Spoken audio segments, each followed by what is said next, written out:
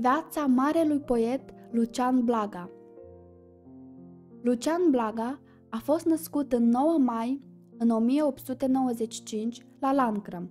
De-a lungul vieții a îndeplinit numeroase funcții, ca poet, filosof, dramaturg, traducător, jurnalist, profesor universitar, diplomat român și academician.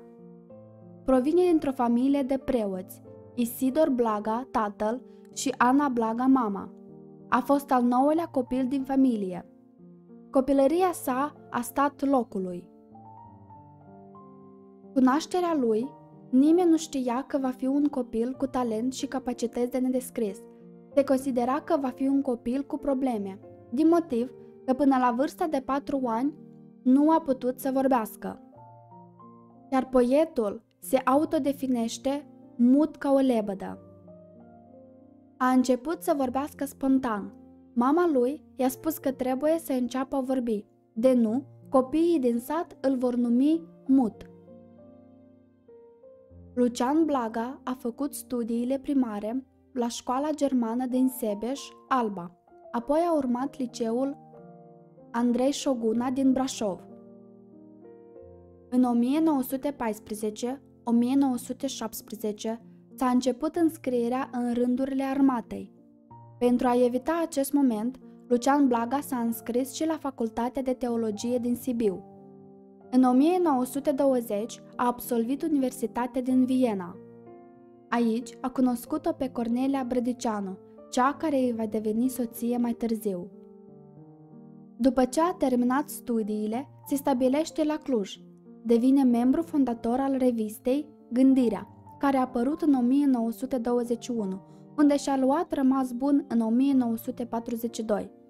Mai târziu a înființat la Sibiu revista Saieculum. În 1910 a publicat în ziarele arădene Tribuna, cu poezia pe țăr. A fost ales președinte al Societății Literare din școală.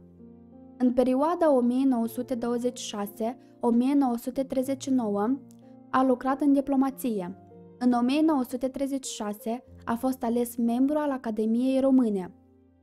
Între 1939 și 1948 a fost profesor la Catedra de Filozofie a Culturii la Universitatea din Cluj.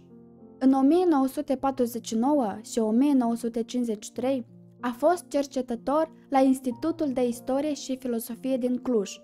Între 1953 și 1959 a fost la secția de istorie literară și folclor a Academiei, filiala din Cluj. După 1943, marele poet nu publică nimic, ci a reluat acțiunea din 1962. Atunci a reintrat în circuitul public.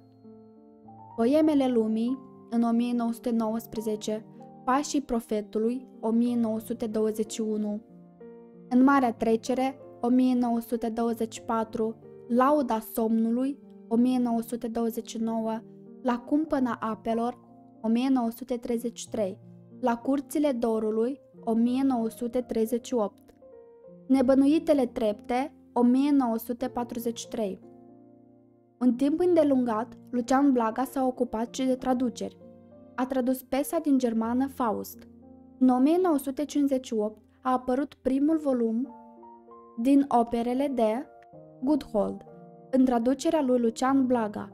La fel, în această perioadă a scris Luntrea lui Caron. Lucian Blaga se stinge din viață la 6 mai 1961.